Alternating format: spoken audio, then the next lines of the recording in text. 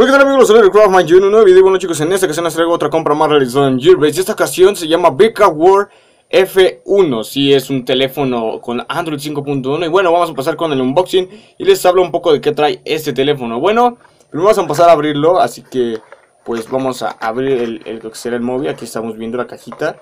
Eh, lo compramos en Gearbest por igual por DHL, un pedido express. Lo sacamos de bolsita, que viene bien protegido cuando lo compré. Cuando me llegó de DHL traía muy bien protegida la bolsa.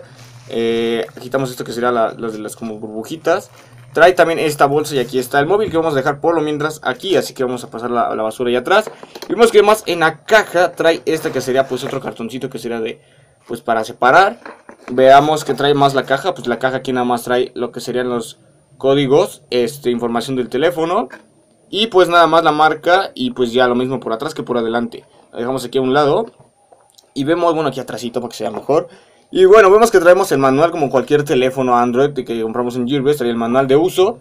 Trae también lo que sería una mica protectora aparte de la que ya trae colocada. Cuando viene de inicio dice Beca Word, traemos lo que sería el cargador, el cargador de pared, que también viene incluido cuando compras, depende de dónde vivas.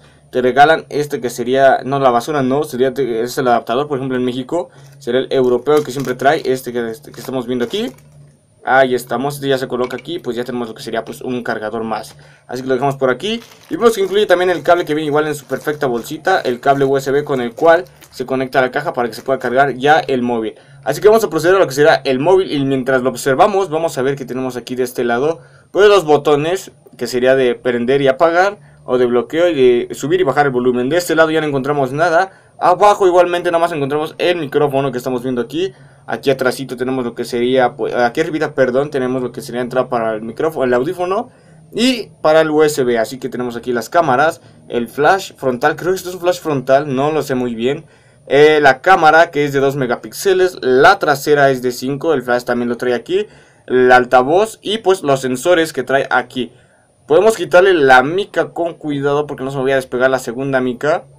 Vemos que se la quitamos y pues aquí dejamos la de Becca Word y pues vemos que aquí trae ya la suya que se ve muy muy bien. Vamos a proceder a encenderlo. Ok. Y mientras, mientras, eh, mientras enciende, pero les voy hablando un poco de lo que trae el Word. Es de 4.5 pulgadas la pantalla.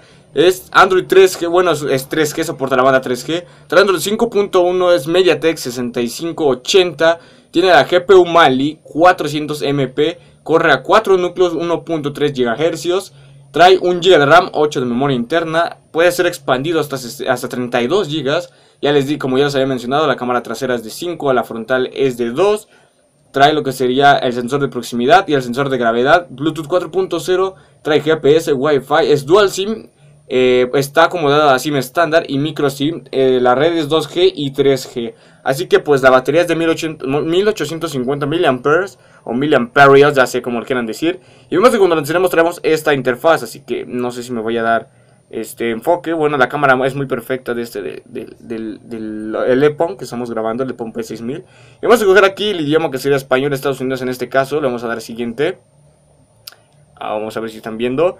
Eh, insertar tarjetas SIM, ya le vamos a dar omitir, omitir, omitir de todos modos. Más siguiente. Así otros saltamos todo, todo, todo eso lo puedo configurar después. A omitir, omitir de todos modos. Más aceptamos las condiciones de Google, que viene muy a la de Signo, o sea, muy a la de Google. Y vemos que traemos el cajón de aplicaciones aquí. Es que no sé si le voy a, vaya a dar el, brillo. Eh, estamos viendo esto, que sería pues ya la pantalla. Vemos que ahí está la cámara. Vamos a revisar las cámaras. Cómo es que se notan. Estamos viendo la cámara trasera ahí, que se ve muy, muy, muy bien para hacer 5 píxeles. Se ven muy bien, o megapíxeles. Y pues veamos la frontal, así me van a ver a mí. Van a ver mi rostro hermoso. Ay, qué guapo soy. Ah, cierto, ya, ya, ya, ya, no eh, vemos que traemos la música aquí.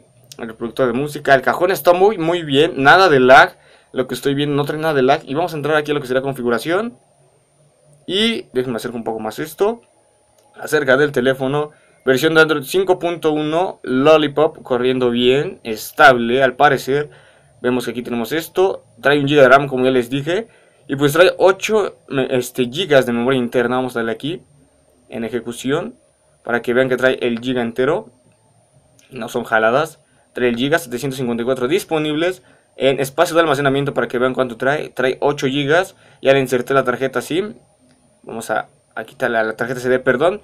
Y vemos que está muy bien el teléfono, la UI es muy buena. Android 5.1, vean ahí estamos. Y pues nada, esto sería el unboxing de hoy. Espero que les haya gustado. BK Word F1, muy buen modelo. Ahí estamos viéndolo, BK Word. Y espero que lo compren, por lo menos se pasen por el link. Espero que les haya gustado el video. Pasen por medio sociales, dejen su, su like si les gustó. Y pues nos vemos hasta el próximo video. Adiós. Suscríbete, papu.